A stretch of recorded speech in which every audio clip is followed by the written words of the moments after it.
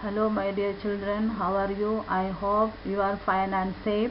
Today's session you are going to learn GK about groups of animals on the earth, some important plants and some forms of energy.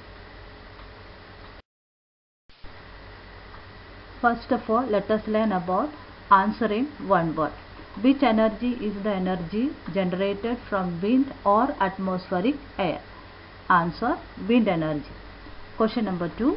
The juice of which plant has positive effects on the skin contain 20% minerals? Answer aloe vera. Next question.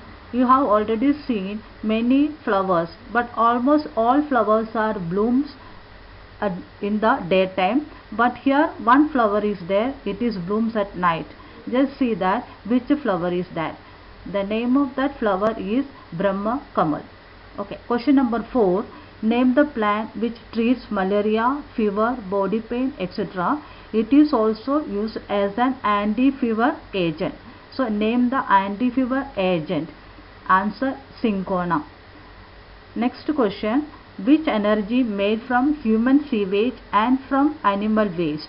It is used for cooking and heating. That energy is known as biogas.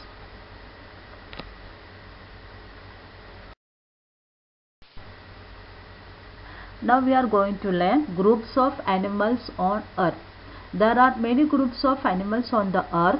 They are reptiles, amphibians, birds, fishes, mammals, etc. Let us see some animals in which group they are included. First one elephant. Elephant includes mammals. Snake includes reptiles. Frog includes amphibians. Koala includes marsupials and snail includes mollusca. Now we are going to learn some fill in the blanks. Dash makes electricity by using the energy from falling water. Answer hydroelectric power. Next blank. The leaves of this plant have vitamin A and calcium and are used in cooking. The name of the leaves curry leaves. Dash yield 2 pounds of sugar a year. It is the national tree of Canada. Answer maple tree.